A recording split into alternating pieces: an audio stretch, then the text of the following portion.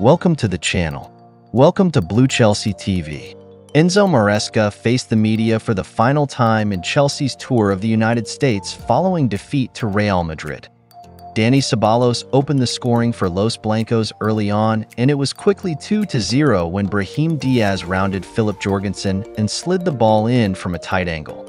Noni Madueke replied just before halftime, but that turned out to be the final goal of the match in Charlotte. Maresca faced a media scrum following the full-time whistle and was asked about a variety of subjects.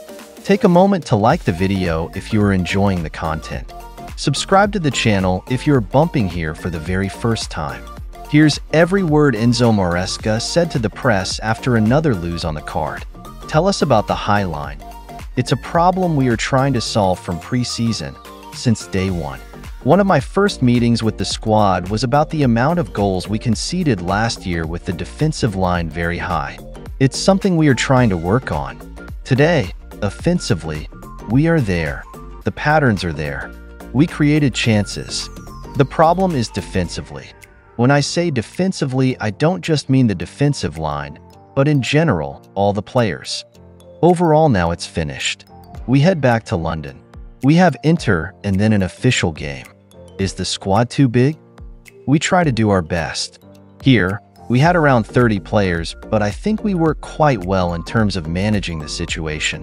We will try to do the same when we're back there, in England. Ideally, would you like it to be smaller? At this moment, the players that are here, it's okay. We are going to have Cole Palmer and Marc Cucurella there at Cobham. It's just two more players. The rest, I think are doing something apart. Is Enzo Fernandez the vice captain? Enzo is one of the important players. To be honest, I think Reece James, when we changed him, he gave the armband to Enzo. This shows how Enzo is respected inside the squad. I think it's quite clear. Was Broja left out because he was injured, or because he could be sold? No, it was just a decision. He was not injured, luckily for him and for us. Do you expect him to be sold in the next week or two?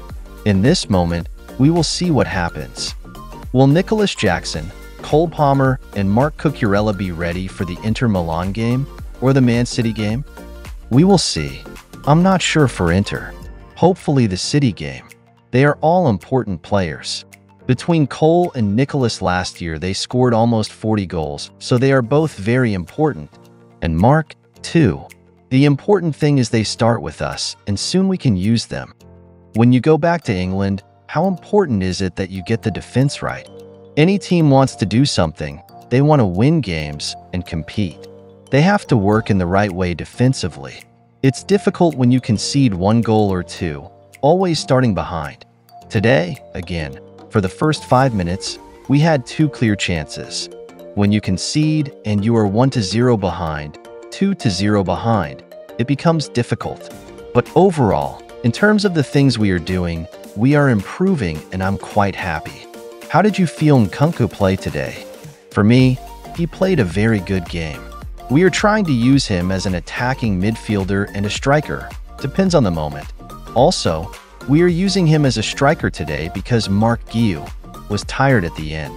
It's normal but overall, the important thing for Christo, we are able to contact with him between the lines. Today we contact with Christo and Enzo Fernandez many, many times between the lines. This is the most important thing, to arrive there, and with time we will take chances and score more goals. Can you explain the high line? It's a habit, we are not working on defensive lines so high. It's a habit from last year, or years ago, I don't know. We are trying to drop the defensive line a little bit, usually about 4 or 5 meters, just to have some advantage. Last year, we already conceded many goals with this problem. Hopefully we can solve it very soon. That's all. Don't forget to like, comment, and subscribe. See you later with another one. Until then, bye-bye.